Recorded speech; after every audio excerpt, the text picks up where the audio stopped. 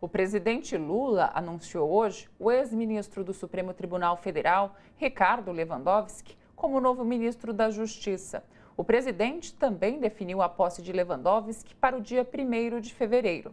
Até lá, o atual ministro da Justiça, Flávio Dino, permanecerá no cargo.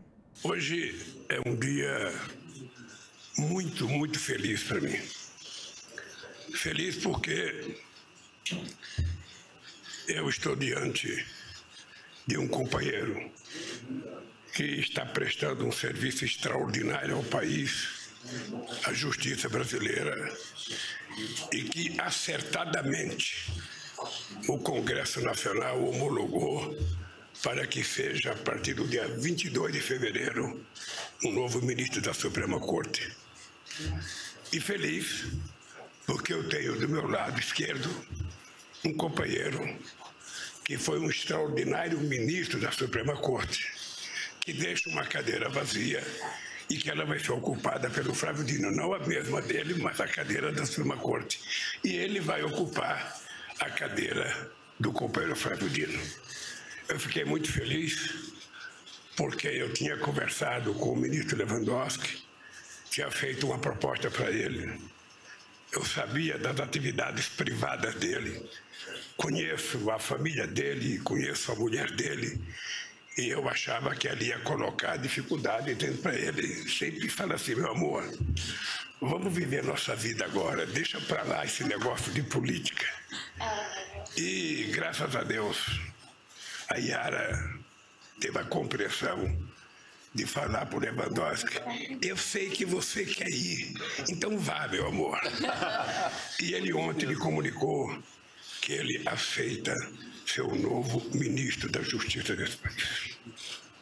Eu acho que ganha o Ministério da Justiça, ganha a Suprema Corte e ganha o povo brasileiro com essa dupla que está aqui do meu lado, cada um na sua função.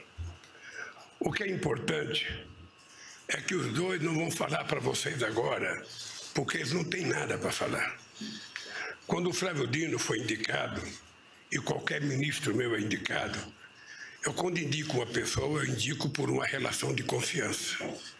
Eu digo para a pessoa, monta o seu governo, quando você tiver com o governo montado, você me procure, que eu vou ver se eu tenho, sabe, coisas contrárias a alguém, eu tenho, sabe, alguma indicação para fazer.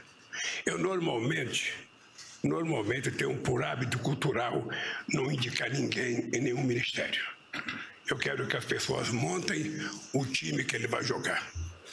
Tá? Eu, se fosse técnico de futebol, eu não permitiria que o presidente do meu time, por mais importante que fosse, fosse escalar o meu time. O meu time é eu que escalo. Se eu perder, me tirem. Se eu ganhar, eu continuo. Então eu disse ao companheiro Lewandowski que ele só vai, eu só vou fazer o decreto, sabe, da oficialização dele, a pedido dele por conta de coisas particulares que ele tem que fazer no dia 19 e nós acertamos que ele toma posse como ministro no dia 1 de janeiro. Fevereiro. 1 de fevereiro. Até lá, o companheiro Flávio Dino, o novo ministro da Suprema Corte, que também só vai tomar posse dia 22 de fevereiro, ficará cumprindo a função da forma magistral que ele cumpriu até agora.